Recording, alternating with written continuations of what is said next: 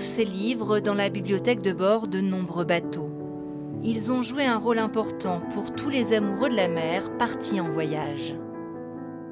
J'ai lu euh, plein de, plein de choses qui ont trait à la mer et, à, la, navigation et, qui m'ont fait rêver. La croisière du Snark de Jack London, euh, où il dit au début du. Ils sont là en train de boire le champagne dans, dans un jardin, et puis euh, London dit à, à ses amis Et pourquoi pas partir maintenant Nous ne serons jamais aussi jeunes qu'aujourd'hui. Voilà une phrase qui donne envie de partir. Et c'est vrai pour tout et tout le monde. Nous ne serons jamais aussi jeunes qu'aujourd'hui.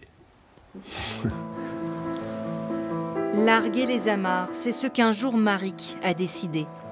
Depuis cinq ans, l'artiste vogue de port en port sur son bateau piano pour se produire en concert. À l'origine de ce changement de cap, il y a eu deux livres. Novecento, c'est vraiment euh, pour moi, ça a été ma clé de départ, quoi. Je suis tombée sur cette nouvelle.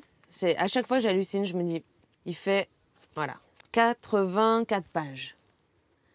Je me suis dit 84 pages, ça t'a changé ta vie, quoi. C'est un truc de dingue. C'est la nouvelle du pianiste, la, la légende du pianiste sur l'océan. Et j'ai eu qu'une envie à la fin de ce bouquin, c'est de me dire, et si ça restait pas une légende? Et si ça devenait vrai cette histoire? Seven seasons a day.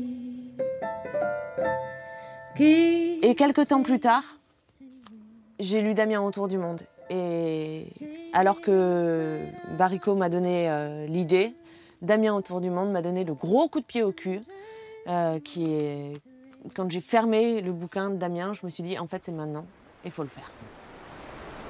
Damien autour du monde, c'est un récit qui raconte l'incroyable épopée de deux amis partis en 1969 autour du monde en voilier. Dans les années 70 ont, permis comme ça à toute une génération de, bah, s'éprendre de large, d'aventures, de liberté. Et évidemment, Moitessier, on l'évoquait tout à l'heure. Euh, moi, à travers ces lectures, euh, quelque part, ça va me galvaniser un petit peu. Euh, et l'audace de ce que l'on appelait à l'époque ces gentilshommes de fortune bah, va quelque part un petit peu déteindre d'éteindre sur, sur moi. Tous ces livres permettent d'être mieux armés pour affronter l'inconnu.